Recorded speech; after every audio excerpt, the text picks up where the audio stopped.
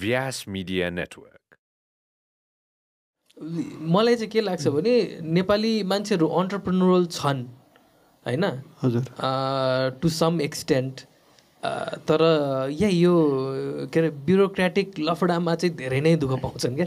होइन एकदमै अनेस्टली भन्नु पर्दाखेरि चाहिँ किनकि रिसेन्टली मलाई यो एउटा म एउटा साथीसँग कुरा गरिरहेको थिएँ उसले यहाँ एउटा इन्डस्ट्री आफैले एउटा अन्टरप्रिनरसिपमा उसले बिजनेस गरिरहेको छ। इज अफ डुइङ बिजनेस गाह्रो छ बिजनेस गरिरहेको छ।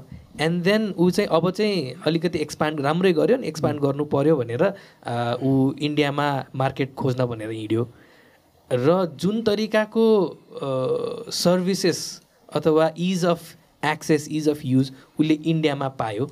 होइन अनि उसले उसको दिमाग खराब भइसक्यो क्या। धेरै नै अगाडि म फुल्ली एग्री गर्छु मैले त इट्स नट जस्ट ब्युरोक्रेटिक मैले इको सिस्टम मैले त्यही भएर सधैँ सिस्टमलाई हेर्नुपर्छ।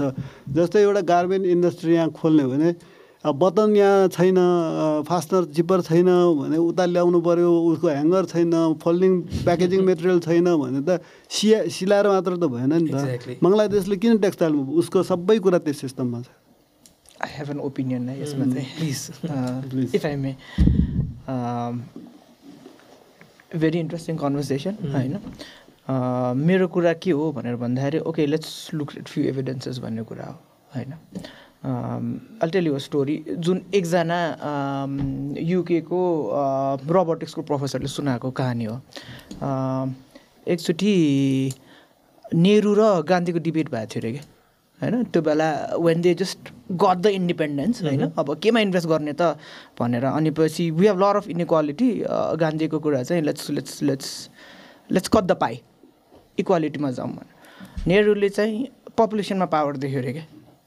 होइन? अनि so very invested on is big universities हुन्छ नि? IIMs IITs all over country so that त्यसले पछि त्यो ब्रेनले पछि उसले इन्डियाको इकोनोमीमा आउँछ भनेर उसको त्यो थ्योरी है। सो म कहाँ जोड्न खोजेको भन्दाखेरि where our are winning horses हाम्रो कहाँ छ त? जित्ने घोडामा दाउ लाउने हो नि।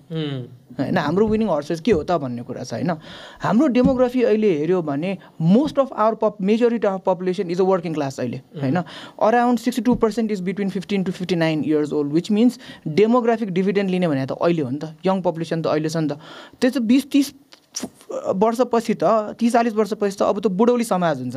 हाम्रो population is increasing at decreasing rate भनेको यङ कम हुँदै जान्छ बुढा बन्दै बढ्दै जान्छ। त्यसले गर्दा नेसनलाई पनि भार पर्ने हो होइन? What can we do now to secure उहाँहरूको अहिलेको यङ पपुलेसन हेर्दाखेरि होइन? अहिले हाम्रोको इन्डस्ट्री देख्दाखेरि सर्भिस इन्डस्ट्री राम्रो देखिरहेछ होइन? एउटा कुरा नेपालमा एकदम राम्रो के भयो भन्दाखेरि आउटसोर्सिङको बिजनेस एकदम फस्ताएर गएको छ होइन? अस्तिको आइआइडिएसको रिपोर्ट हेर्दाखेरि टु थाउजन्ड ट्वेन्टी टूमा फाइभ हन्ड्रेड मिलियनको एक्सपोर्ट गरेको छ which is one point four percent of GDP is not a joke not है? अब with this AI gold rush coming up होइन we gonna fall back definitely होइन we gonna fall back reskilling सोच्नु पऱ्यो अपस्किलिङ सोच्नु पऱ्यो सो मेनी थिङ्स होइन? हाम्रो पपुलेसनलाई कसरी प्रियर हामीहरू इन्डस्ट्रियलाइजेसन इन्डस्ट्रियलाइजेसन त भन्छौँ होइन? I'll be very honest nineteen नाइन्टीको democracy पछि we have sorry to say that we have deindustrialise हाम्रो economies of scale do not make sense to compete with India or China just not गर्न work होइन? मलाई doctor सोनिमागले भन्ने कुराहरू मलाई एकदम right लाग्छ क्या वर set is we need to export something weightless we need to export something distanceless भन्नुभएको थियो क्या उहाँले।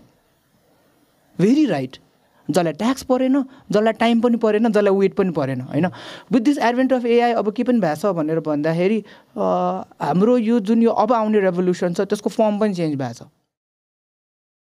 Vyas Media Network.